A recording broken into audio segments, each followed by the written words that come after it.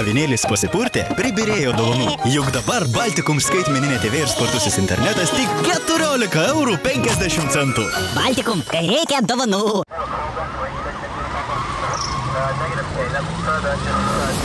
Sveiki sulaukę nesuklastoto pavasario ir nesumeluotos bei nesurežisuotos reido laidos. Ir šiandien joje matysite. Laidą pradėsime siužetu apie gamtą ir aplinką. Birutės ir Rūtų gatvių sankryžoje iš šalutinio kelio išlėkęs visureigis Nissan nukirto nuo taikos prospekto važiavusi automobilį Volvo, o pats nulėkė nuo šalygatvio, įstrigo gyvatvorėje, atsirėmė į medį vienos įstaigos teritorijoje, kuri atsakinga už gamtos ir aplinkos grožį. Jūs važiavot pagrindiniu keliu, pagrindiniu. Viskas aišku. Kaltininkas aiškus, aplinkybės aiškios, visi blaivus, tik ne iki galo laimingi. Taip sukulti mašinas gražią dieną. Bus pildomos eismo įvykių deklaracijos, tik klausimas, kiek tų deklaracijų. Viena ar dvi. Jeigu aplinkosaugininkai turės pretenzijų už medelį, tai dvi. Jeigu ne, tai viena. Avarijos kaltininkas nuėjo į kontorą ir grįžo laimingas. Dėl medelio pretenzijos pareikštos nebuvo, tad deklaracija buvo užpildyta viena - metalinė, be medelių ir krūmų žalių. Trečiadienį apie pusę penkių vakaro Klaipėdos policija gavo pranešimą, kad Bangų gatvės 10 namo kieme kažkaip keistai priparkuotas automobilis Toyota Corolla, o neblaivy vairuotojai kažkur nulingavo, mašinoje palikusi šunelį. Na šuniuk, čiuska. Normaliai vaikiški piešiniai, vaikiškas mėgstukas, mineralinis, šunelis, šunelis, šunelis nepiktas. Ir tai dar ne viskas. Ir dar avarija padaryta. Automobilis liestas šitas Nissanas. Štai tai ir istorija. Automobilio durelės neužrakintos, buvo paliktos jungtos trumposios šviesos, ant galinės sėdinės mėtėsi vaikiški piešiniai, o bagažinėje tykiai sėdėjo šunelis. Automobilis prieš atsirasdamas šalia namo dar kliudė stovėjimo aikštelėje stovėjusi automobilį Nissan. Pareigūnai nustatė, kad automobilis priklauso tokiai paneliai gyvenančiai pakankamai toli nuo šios incidento vietos. Buvo iškviestas evakuatorius, o patys pareigūnai apsilankė automobilio Nissan vairuotojo būte, tačiau šis apžiūrėjęs savo mašiną pretenzijų dėl nubrėžto priekinio bumperio niekam neturėjo. Tuo metu įvykio vietoje pasirodė neblaivi mergina ir pamačiusi policijos pareigūnus apsidžiaugė, kad dabar tai jai tikrai kažkas padės šioje keblėje situacijoje. Policijos pareigūnai iš ties padėjo. Iš pradžių buvo išleistas pasilaksyti šo, o jau po to vairuotojai nustatytas vidutinis neblaivumas. Čia 242. Moteriškė manevruodama ankštoje aikštelėje sumaišė pedalus ir vos neatsitrenkė į namo sieną. Automobilis išvežtas į policijos saugomų automobilių stovėjimo aikštelę. Vairuotoja atsidūrė kelių policijos biure, kurioje buvo surašytas protokolas už šią neblaivę avariją. O ten tikras patinas. Tikras patinas užuodė kalę maurą. Dar kovas, klastingas pavasario mėno. Lekėme į Šernų mišką. Ten, sako, nuo kelio nusivertė automobilis. Važiuojant galvojame, kad vėl gerai būtų pasukti apie pirmą pašalančias pamiškės, patiltės, vedukus ir taip toliau ir panašiai. O iš tikrųjų avarijos priežastis visai kita. Moteris vairavusi automobiliu Opel Vectra užsnūdo ir kai jau važiavo griovių, pagalvojo, kad sapnuoja. Sapnavo, kol neatsimušė į vienintelį Šernų miško šulinį. Na gal ne vienintelį, bet šulinį, kurio dangtis net buvo numuštas. Moteris per avarinį nukentėjo. Mašiną ištraukė, na kas ištraukė? Aišku, kad Petro vyrai. Štai kur Gediminas profesionalas. Puikiai ištrauks automobilį. Puikiai. Štai tokia istorija iš Šernų miško. Ji buvo ne apie plikledį, o apie nuovargį. Dar viena pavasarinė bėda, kuri pradeda kamuoti vairuotoją dažną. Vieną trečiadienį apie 8 val. vakaro Klaipėdoje skirtingose miesto pusėse įvyko ne du incidentai, kuriuose dalyvavo neblaivus vairuotojai. Mes apie vieną iš jų.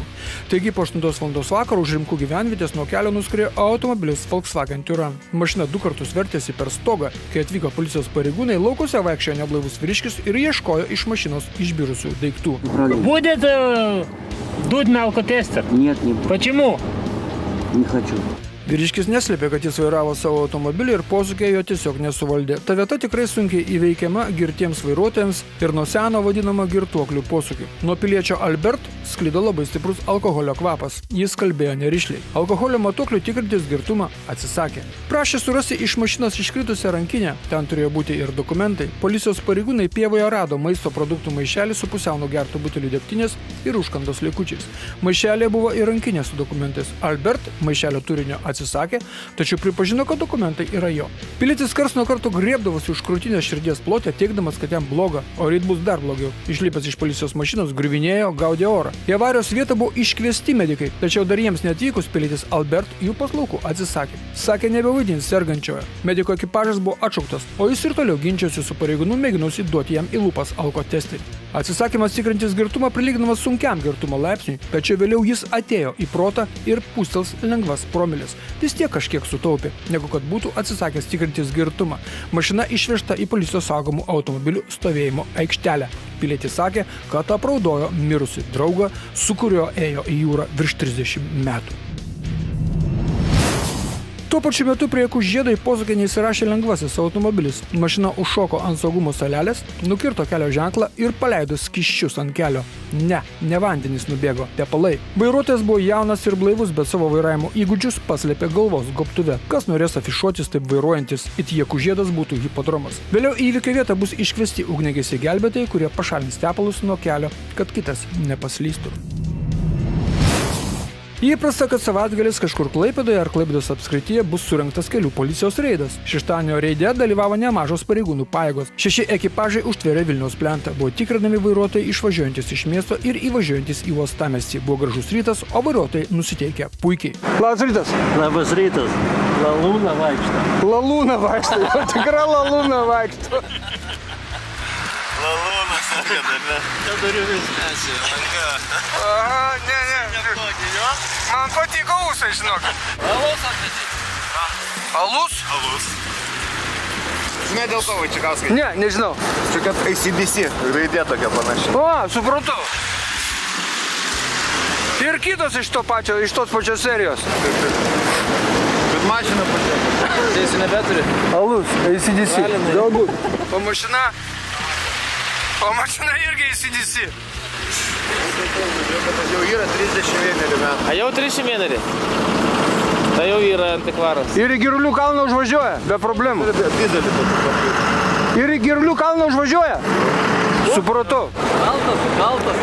Kaltas? Kaltas? Ką padarėte? Ką padarėte? Aš čia pūstos. Nori? Jam skubam, vėluojam.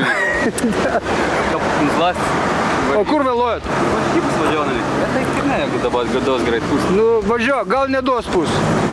Merginos. Labas rytas. Labas rytas. Kaip jums sekasi? Puikiai. Kur jūsų šviesos? Ko? Nu, einam žiūrėti.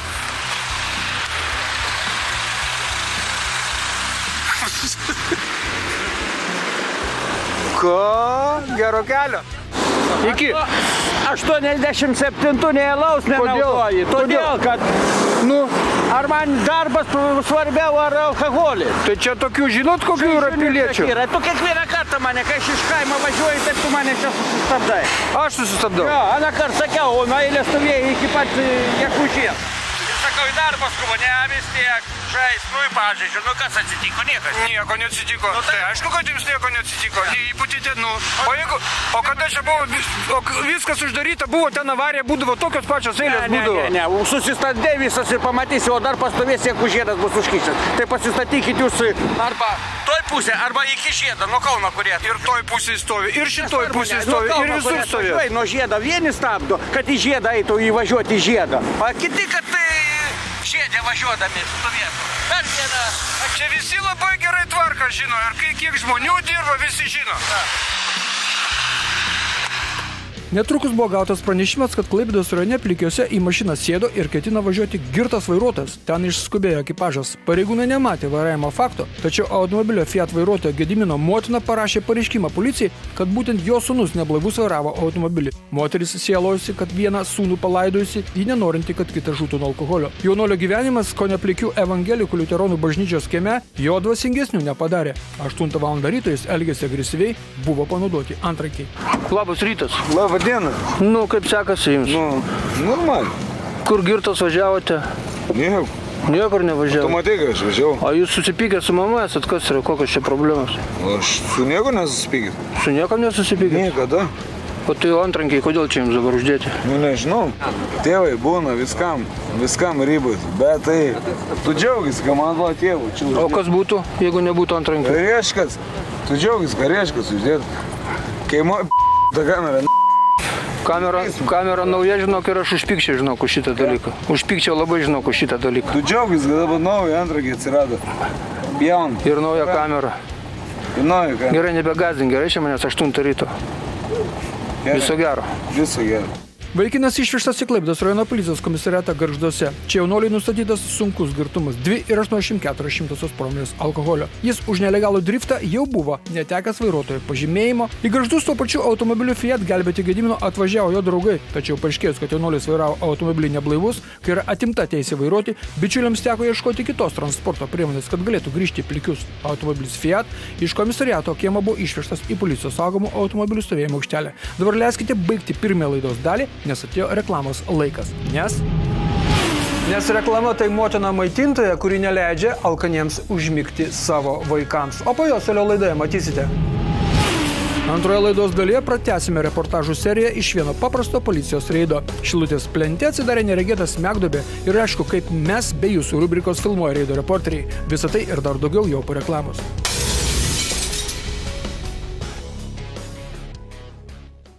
Avinėlis pasipurtė, pribirėjo dovanų. Imk ir neškis visą kraitę. Švesk su Baltikum kartu. Juk dabar skaitmeninė TV ir spartusis internetas tik 14 eurų 50 centų. Visą sutarties terminą. Baltikum, visa kraitė dovanų.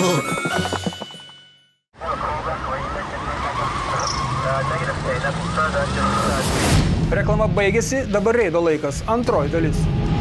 Tas pats šeštadienis, tas pats policijos reidas, kurį nutraukė plikių sunaitėlio istorija. Mes grįžtame į Klaipedą, kur Vilniaus plente dirbę pareigūnai pastebėjo tolumoje rūkė sustojusi automobilį. Privažiavusi ekipažai aplink automobilį BMW 525, kuris aname gyvenime buvo išpuoštas firmos Haman automobilių pošybos elementais, vaikščiojo jaunuolis ir žiūrėjo į tolį. Sako, va ten laukais kažkur nubėgo BMW vairuotojas Viktoras. Tada jaunolio Egidijaus buvo paklausta, tai kur jis sėdėjęs, ar ant galinės sėdinės įtaisytoje vaikiškoje kėdutėje, ar ant priekinės keleivio sėdinės, ant kurios galėjo nesuglamžyti popieriai. Tai jeigu tu buvai keleivis, kam to po užpakaliu popieriai reikalingi, paaiškink buvo, va čia. Kam to popieriai reikalingi? Patogu sėdėti ant jų? Kad nesuteptų sėdinių. A, supratau. O kur tu gali sėdėti? Vairuotojas vis tiek bandė įtikinti pareigūnus, o galiausiai ir pats pradėjo tikėti, kad vairavo ne jis, o vairavo Viktoras arba dar kitas žmogus, bet labai panašus į Viktorą ir viskas. Kas yra Viktoras lietuvių liaudės folklore, mes žinome. Šį kartą Egidijus buvo blaivus jo biografijoje daugiau kaip 30 kelių eismo taisyklių pažeidimų. Tris kartus įkliuvęs vairuojantis girtas vairuotojo pažymėjimas atimtas iki 2015 m. rugpjūčio pabaigos. Nors dabar kažkokį suklijuotą su lipnė juosta pažymėjimą patikė. Vadinasi, aną kartą, kai buvo pagautas neblaivus vairo, jis vairuotojo pažymėjimo netidavė pasiliko savo iki geresnių laikų. Jaunuoliui surašytas protokolas už tai, kad vairavo automobilį, kai yra atimta teisė vairuoti. Tuo metu kitoje kelio pusėje buvo sustabdytas automobilis Audi A4 Avant. Čiauliškių vairuotojai važiavusiam po stintų žvybos namo nustatytas lengvas girtumo laipsnis - 0,95 promilės alkoholio. Per trumpą laiką daug įvykių įvyko šio vairuotojo gyvenime. Išvakarėse išgeria trise butelį degtinės. Naktį žvejojo, kybo ar nekybo, dabar jau nelabai svarbu. Po savaitės turi gimdyti žmona, o čia laukia ir neplanuota bauda, ir vairuotojo pažymėjimo netekimas metams. Netrukus policijos ekipažai išsirikiavo Tilžės gatvėje. Buvo tikrinami vairuotojai važiuojantis į turgų. Jau reikia kelių, ponė, sakykit. Todėl, kad šiandien ir aš, pavyzdžiui, per Rusijos programą mačiau, policininkai stabdo moteris ir visom kovo 8 progą dovanoja. O šiandien yra kovo 7, jeigu ką. Išvakaris. Tai nu jau, mes rytoj. Žiūrit rusiškus kanalus kažkur tai, kur jau ten. Žiūriu, kadangi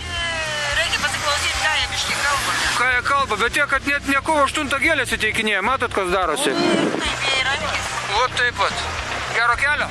Kaip sekasi? Kodėl langus atsidarėt, nešalta jums? Ne, negalvojam, gal reikės pūsti. Aišku, reikės pūsti, bet ten toliau. Taigi, nuotaikos puikios, o dabar savo ekranuose matote, kaip policijos ekipažas nusivijo apsisukti bandžiusi automobilį Renault Laguna. Pasirodo, kad vairuotojui vengti policijos pinklių buvo priežasčių. Tomui nustatytas lengvas girtumo laipsnis - 0,93 promilės alkoholio. Vaikinas išvakarėse išgėrė alaus. Kaip visada. Dėl to sukotės, kad išgėręs esat. Ne? Tai dėl to? Supratau, į turgų važiavot? Ne? Supratau. Tuo metu, kol Tilžės gatvėje vyko policijos reidas, toje pačioje gatvėje įsikūrusio turgaus teritorijoje neblaivus vairuotojas padarė avariją. Jis, manevruodamas su automobiliu Renault Laguna, kliūdė šilališkių automobilį Toyota Yaris. Labadiena, pons, a į avariją pakliuvo turgų atvažiavęs? Tik sėdu ir turiu. Pastį galą. O kaip buvo, sakykit, jūs atsisėdote į mašiną? Sėdėjau, e, man e, čia tarpas buvo, ne? Aha. Čia mašina atvažiuoja iš e, galų. Ir e, tik žmogus eina ir sako, sako, kur važiuoju, juk į mašiną važiuoju. O aš nieką nesuprantu. Aha. Tik būkst. Kaip jau gavau, bukstelėjai, tada išlimpo. Jis e, pa- pavažiavo toliau. e, Į kitą mašiną čiut neįvažiavo, tai jau abu pradėjom šaukti, kad nevažiuok. Taip. Ir sustojau tada čiut neįvažiavus į vieną mašiną. Ir tada išeinu jo prie jo, žiūriu, kai toks man Keistokas, keistokas. Nu, keistas, toks, sako, vaistų naudoja, paskui kol išlipo, kol ką, tik tiek. Bet aš sakau, vis tiek e, deklaraciją pildyti, bet galvoju, išvažiuos į gatvę, padaryti gali avariją, nesvarba, nuo vaistų ar nuo... Supratau. Jo. Supratau, nueinam žiūrėti. Supratau. Labas vakaras. Tas kitas ponas įtarė, kad jūs girtas esat.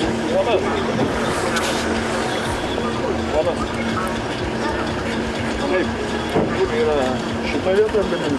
Jo.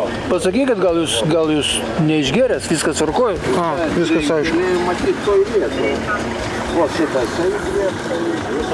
Nu, viskas aišku. Automobilio Renault Laguna vairuotojui Algirdui nustatytas tik lengvas girtumo laipsnis, viena ir 33 šimtosios promilės alkoholio, bet pašnekėjo, lyg būtų sunkiai apgirtęs. Nusistebėjo, kaip Vačiakauskas dar vaikšto gyvas. Vačiakauskas ir pats nusistebėjo. Po to Lagunos vairuotojas iš darbo atleido du kelių policininkus ir gazino savo dukrą, kuri dirba Londone žurnaliste. Čia tai žiauriai. Visas tilžės durgus nuščiuvo po tokio pareiškimo. Antradienį pusė dviejų Klaipdos policija pasipylė pranešimą, kad Šilutės plente vienas po kito į netikėtai atsivėrusią smegdobę įkrito trys automobiliai. Dobė nemaža, daugiau nei dviejų metrų gilio. Smegdobė atsivėrė trečioje Šilutės plento eismo juostoje. Pirmas į dobę įkrito automobilis Volkswagen Golf, kurį vairavo Eglė. Nu, nemačiau, nes priešais mane važiavo BMW automobilis ir nu, ganėtinai arti jo važiavau. Ir nespėjau pamatyti. Ir viskas, pamačiau, kažkas tik sujodavo ir per ratus skirta ir viskas. Ir matau, kad jau iš paskos irgi mašinos stoja, tai galvoju, aš pirmoji čia tokia. O didelis smūgis buvo? Pakankamai. Dar po akimirkos į smegdobę pataikė automobilis Honda Accord. Vairuotojo Lina paaiškinime policijai rašo, kad nuo didelio smūgio lūžo stabdžių daviklis, susilankstė rato diskas, nepataisomai suplyšo padanga. Nemalonumus ir žalą patyrę vairuotojai Klaipėdos kelių policijos biure užregistravo incidentus, savo pareiškimuose nurodė, kad jie norėtų, kad kažkas atlygintų žalą. Įvykio vietą atvažiavo vandentikio specialistai, dujininkai, kelininkai, netgi žurnalistai. Šulinys senoviškas, išklotas raudonomis vokiškomis plytomis, jo gilis apie porą metrų. Istorikai pamena, kad po antrojo pasaulinio karo kadaise tiesiant kelią į Šilutę šioje vietoje buvo Budelkino kaimas ir šis šulinys tai tiesiog paprastas kaimietiškas šulinys, virš kurio sovietai užklojo asfaltą. Po to kelias buvo nekarta rekonstruojamas, bet niekas nesigilino, kas po asfaltu ir kam galėjo šauti galvą asfaltą užkloti ant lentų uždengusių duobę, virš kurios važiuoja vilkikai ir ne tik. Filmuoja reido reporteriai ir jų darbai prasideda Šilutės ir Debrecino gatvių sankryžoje, kai Audi vairuotojas štai taip šauna iš trečios eismo juostos kitiems prieš nosis į Debrecino gatvę. Kelias Kaunas Prienai. Tai kovinis dzūkų kelias. Čia nieko komentuoti nereikia, čia reikia žiūrėti, kaip yra lenkiama. Prieš kalnus, posūkius, prieš iš priekio atvažiuojančius ir taip toliau ir panašiai. Dzūkų karo kelias. Bet aišku, viską pranoksta prieš eismą varantis pilietis kažkur prie Gariūnų, prie Vilniaus. Brolau, tu ką, iš Anglijos grįžai savaitėje kitai? Tai žiūrėk, neusimušk ir kitų nesužalok. Marijampolės blondinė su golfo jau baigė uždrošti komentatoriai išsilieję Facebook'e, reido laidos paskyroje. Na, bet kad į to nusipelno su tokiu mąstymu kelyje, ją reikia drošti ir toliau. Klaipėda taikos ir sausio 15 gatvės sankryžė. Vaikė, apie ką tu galvoji, tu vaikščiodamas per gatvę? Tai va, pagalvok apie mamą ir tėtę, senelį, babytę ir kačiukus. Na gerai, dar žuvytės. Vilnius, šalies sostinė, Žirmūnai. Kas gali paaiškinti, kas užėjo šio keleivinio autobuso vairuotojai? Kad šauna degant raudonam šviesoforo signalui. Ką, grafikas neleidžia vėluoti? Na gerai, o lengvojo automobilio vairuotojas tai ką? Pakluso bandos jausmui ar irgi grafikai spaudžia? Grįžime į Klaipėdą. Senvario žiedas. Prie eismo juostas vienas šauna į degalinę. Tik trydos priepulis gali pateisinti tokį vairavimą. Kitas Mykolas brolis štai taip sprendžia maisto programą šaudamas Vingio gatvėje į vienos parduotuvės automobilių stovėjimo aikštelę. Šio filmo autorius klausia, kas iš to šio pežo vairuotojui, kad jis prieš kretingalę lenkia automobilių kolonas, kirsdamas ištisinės linijas, jeigu į tą pačią klaipidą įvažiuoja kartu su šio filmo autoriumi, kuris važiavo nepažeisdamas kelių eismo taisyklių. Kelias Utena Vilnius, štai taip raunama prieš nosį iš degalinės, taip nejučia vėl grįžtame į Janos kraštus. Audi Vilniuje varo be posūkio signalų ir dar degant draudžiamam šviesoforo signalo ten tolėliau pavarė. Matėt? O čia savaitės pavairavimas atkeliavęs iš Vilniaus. Volkswagen Golfas Vilniuje, Laisvės prospekte. Tai pavarė, tai pasirikiavo, kad keliaiviui teko net kryžiažodį žurnalą šveisti ant panelės, pasipiktinus ir džiaugiantis, kad neįvažiavo į stulpą. Viso gero jums sako Reido kūrybinė grupė, Audrius ir Ginteras, na mes pasimatome kitą antradienį pusę devinių vakaro naujų laikų. Būkite aplankyti. Čiau.